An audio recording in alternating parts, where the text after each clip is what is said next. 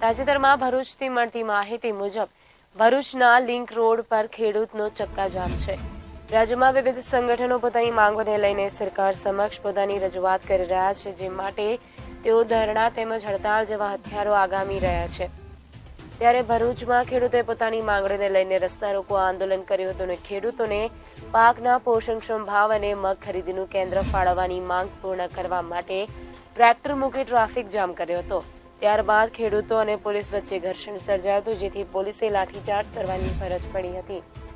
તમને ફરીવાર જણાવી દઈએ, જે પ્રમાણે તમે સ્ક્રીન પર જોઈ રહ્યા છો, રાજ્યમાં વિવિધ સંગઠનો પોતાની માંગોને લઈ સરકાર સમક્ષ પોતાની રજૂઆત કરી રહ્યા છે, જે માટે તેઓ ધરણા તેમજ હડતાલ જેવા હથિયારો ઉગામી રહ્યા છે. ત્યારે ભરૂચમાં ખેડૂતોએ પોતાની માંગણીઓને લઈને રસ્તા રોકો આંદોલન કર્યું હતું. ખેડૂતોએ પાકના પોષણક્ષમ ભાવ અને મગ ખરીદીનું કેન્દ્ર ફાળવવાની માંગ પૂર્ણ કરવા માટે ટ્રેક્ટર મૂકી ટ્રાફિક જામ કર્યો હતો. ત્યારબાદ ખેડૂતો અને પોલીસ વચ્ચે ઘર્ષણ સર્જાયું હતું, જેથી પોલીસે લાઠીચાર્જ કરવાની ફરજ પડી હતી.